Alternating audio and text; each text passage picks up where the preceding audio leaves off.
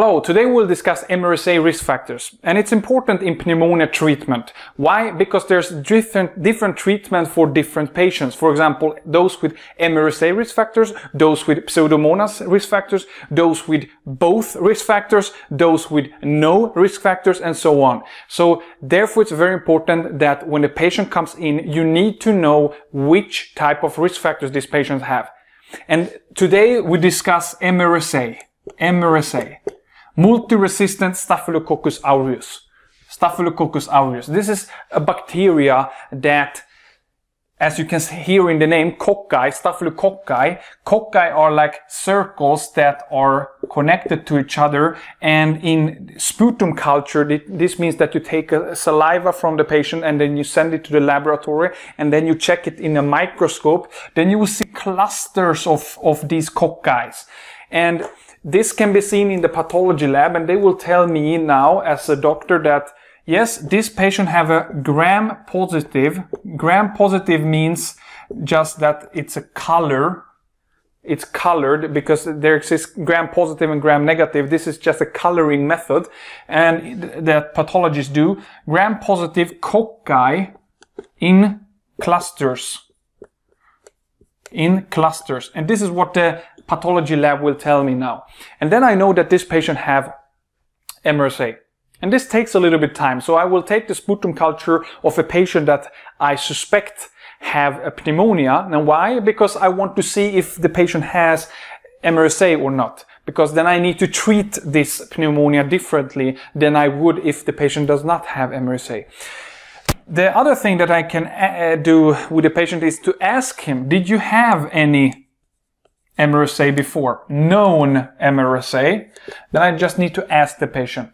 And this is also risk factor for MRSA. So it means either you have MRSA confirmed with pathology, or you just ask the patient, did you have it before, like six months ago, one year ago, and so on. This is an also, this is also as, as important as a positive MRSA. The third group of patients are those who did not have MRSA before, did not have any uh, gram-positive results yet, or did not have any sputum results yet. So we don't know if the patient have MRSA, but they have risk factors. Risk factors for MRSA. And which are the risk factors?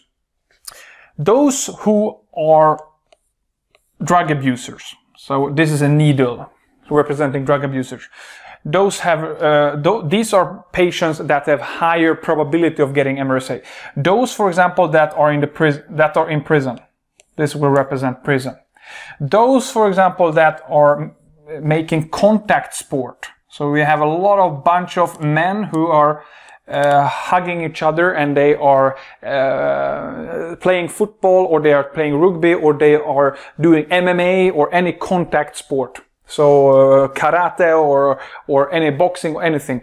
These are contact sport patients, and these have also higher probability.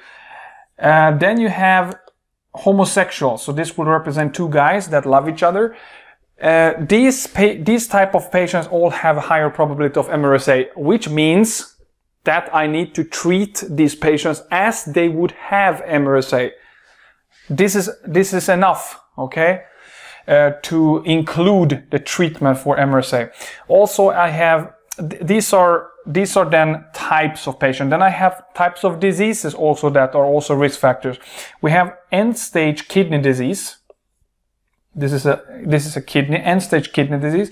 Then we have recent influenza infection, influenza infection, and then I also have those who have uh, who had a necrotizing pneumonia. So necrotizing, this is a special type of pneumonia, necrotizing pneumonia. And th there exists also another disease called empyema.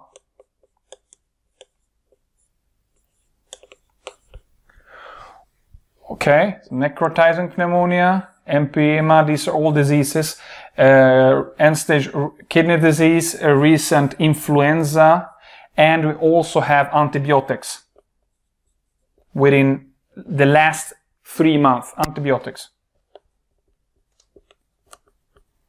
I will write three months. Okay, antibiotics within last three months. So to conclude, patient comes in and I ask him, do you do any sport activity where you are in direct contact with a lot of people? Yes, then you have a risk factor. And then yes, then I need to treat you against MRSA. Do you, do you, do you inject drug? Okay, this is a very harsh question, but do you take drugs? Do you do any kind of these activities that you inject yourself with drugs? Or it's obvious if, if a pr- prisoner comes in to you, then, then, then it's obvious this is a prisoner. Yeah.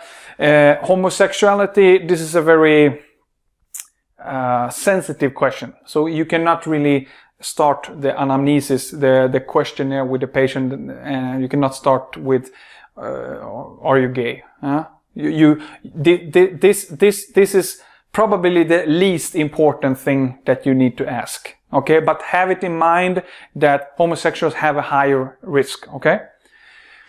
And then we look at the kidney disease. Does this patient have a kidney disease? Did the patient have an influenza recently? Did the patient take any antibiotics within the last three, min- uh, th- three months? Did he have a pneumonia and especially did he have any necrotizing pneumonia in the in the in the uh, previous month? Or empyema this is another type of disease. Or these were the risk factors. Or is it known that he had an MRSA infection already? Or did the pathology lab tell me that in the microscope we have seen gram-positive cocci in clusters? If any of these are positive, meaning they are true, then please direct the treatment against MRSA.